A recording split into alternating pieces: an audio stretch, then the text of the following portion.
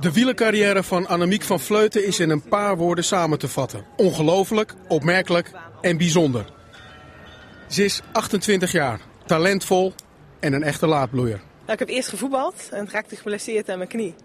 En uh, eigenlijk het enige wat toen uh, nog een optie was, is uh, om te gaan fietsen.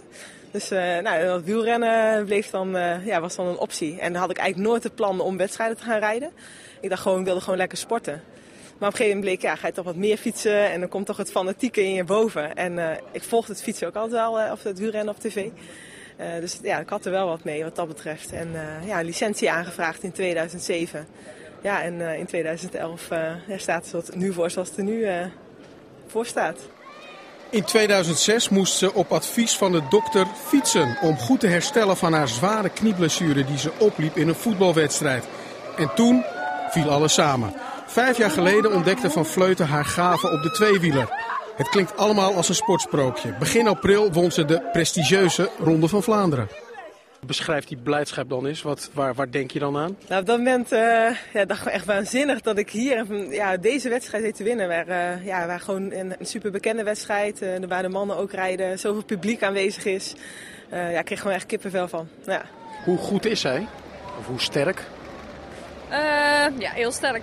Ze heeft misschien zelf nog niet, niet altijd goed genoeg door, maar ja, al is ze ook wel, wel zelfbewust. Maar ja, in zo'n korte tijd ja, zo'n zo'n sprong maken en gewoon wereldtop worden. Niet alleen de aansluiting maken, maar ook gewoon zijn. Ja, dat is, dat is niet voor iedereen weggelegd. En zij ja, speelt die rol wel heel goed, moet ik zeggen. Dat moet een mooie anekdote zijn, dat jij je eerste fiets kocht. Vertel.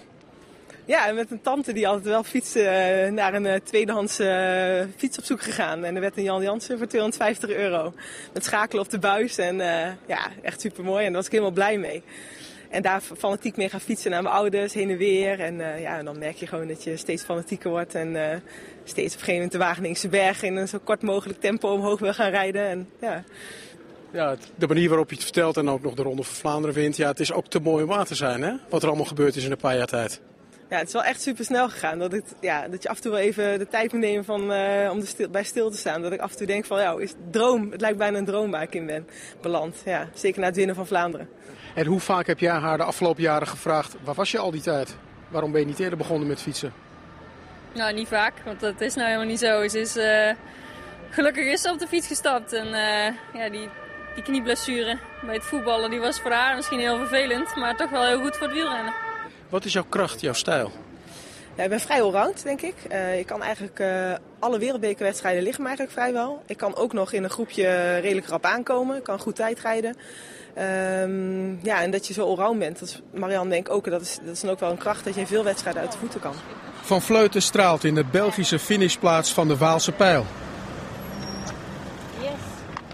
Vol zelfvertrouwen rijdt ze morgen in de leiderstrui van het wereldbekerklassement. Maar het is niet helemaal haar wedstrijd. Ze denkt niet dat ze als snelste de muur van Hoei beklimt. Daarom de vraag, wat kunnen we de komende jaren van haar verwachten? Het gaat gewoon nog supergoed. Er zit nog veel progressie in. Ik denk dat dit je ook weer een stap hebt gezet. Dus ik verwacht dat gewoon de komende jaren ook nog steeds te kunnen zetten. Ja, en dan uh, heb je natuurlijk dit jaar weer het WK in Kopenhagen. Het jaar daarna is het WK in, in Valkenburg. Dus dat zijn ja, super mooie doelen. Ja, de Olympische Spelen, dat komt ook al dichtbij. Dus in 2012. En ik hoop daarbij te zijn. Dus... Ja. Wie had dat ooit gedacht, een paar jaar geleden? Nou, ik zelf nooit. Nee, zeker niet.